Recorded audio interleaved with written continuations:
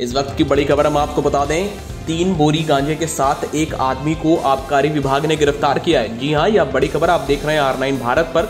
खबर है ढेनकानाल क्षेत्र से, जहाँ ज़िले के भुवन इलाके में इस काले कारनामे का आबकारी विभाग के स्वतंत्र स्क्वाड के द्वारा पर्दाफाश किया गया विशेष सूत्रों से खबर पाकर शनिवार को ढेनकानाल ज़िले के आबकारी विभाग की यह स्क्वाड भुवन काली बाज़ार के देवी गारमेंट्स के दुकानदार सत्यानंद साहू के लता बिल गोदान पर छापेमारी करी। बाद में नए भुवन का एक पुराने बादाम के मिल परिसर में छापेमारी भी की। आपको बता दें, लता बिल गोदाम में कपड़ों के साथ गांजे की बोरी मिली है, जिससे देख पूरा का पूरा स्क्वाड टीम और वहाँ पर उपस्थित सभी लोग चौंक उठे। आरी के खस्ता पदार्थ बोरी में गांजा पकड़ा गया है। जब्त हुए तीन बोरी गांजे का वज़न बहत्तर किलो होने के साथ इसका मूल्य चार लाख रुपए बताया गया है। आबकारी स्क्वाड मुख्य समीर महंती का यह कहना था। इस मामले में गारमेंट व्यवसायी सत्यानंद साहू को गिरफ़्तार कर लिया गया है।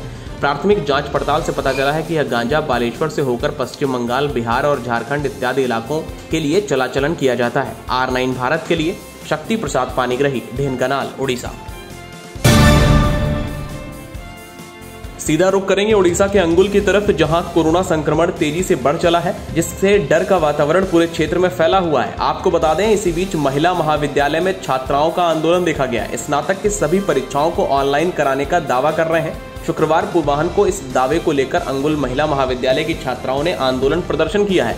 कॉलेज की अध्यक्षता को दावा पत्र देने के साथ जिलाधिकारी के द्वारा किए गए हैं। कॉलेज से पैदल चलकर 100-100 छात्राओं ने सामाजिक दूरी बनाए रखकर जिला कार्यालय पहुँचे और संक्रमण तेज़ी से बढ़ने के कारण ऑफलाइन परीक्षा होने पर हालात बिगड़ने की आशंका है, यह बात भी कही है। इसलिए ऑनलाइन परीक्षा करवाने के विषय में जिलाधिकारी को एक दावा पत्र प्रेषित किया है। अपराहन में सरकार यूजी तथा पीजी के सारे ऑफलाइन परीक्षा को रद्द कर दिया है। अगली बार रिव्यू कर परीक्षा कार्य सूची निर्धारित करने के लिए घोषणा होने पर छात्राओं को आश्वासन मिला। प्रकाश के कल अंगुल स्वयं शासित महाविद्यालय एवं तालचेर कॉलेज के छात्र छात्राओं ने ऑफलाइन परीक्षा को विरोध करने के साथ ऑनलाइन परीक्षा करवाने के लिए जिलाधिकारी को एक दावा पत्र प्रदान किया है। देखना ये होगा कि आखिर इस पर निर्णय कब दिया जाएगा। आर नाइन भारत के लिए, सौरी रंजन पंडा की रिपोर्ट, अंगुल, उड़ीसा। महान जननायक बीजू बाबू का चौबीसवां श्राद्ध वार्षिक उत्सव के अवसर पर भागीरथी सागर में जल तरण कर बीजू जनता दल के कर्म कार्यकर्ताओं के साथ मान्यवर सांसद महेश साहू के द्वारा श्रद्धांजलि अर्पित करी गई है। पूर्व मुख्यमंत्री और जननायक बीजू पटनायक जी के तिरोधान दिवस पर मुख्यमंत्री नवीन पटनायक जी लोकसभा भवन परिसर में स्थित उनके प्रतिमूर्ति पर पुष्पमाला चढ़ाकर उन्हें श्रद्धांजलि अर्पित करते हुए नज़र आए हैं। आधुनिक उड़ीसा निर्माण के साथ नारी सशक्तिकरण एवं लोगों के कल्याण के क्षेत्र में बीजू जी का आवाहन अतुलनीय है, जिसे सभी ने सराहा और याद किया।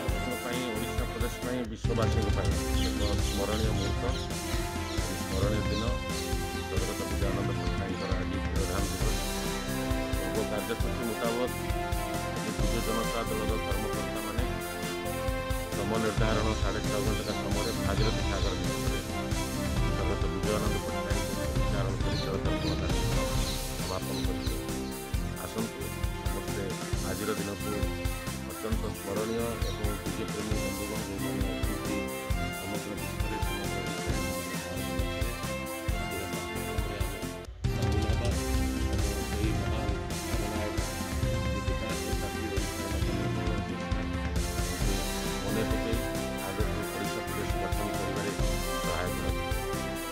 जगन्नाथ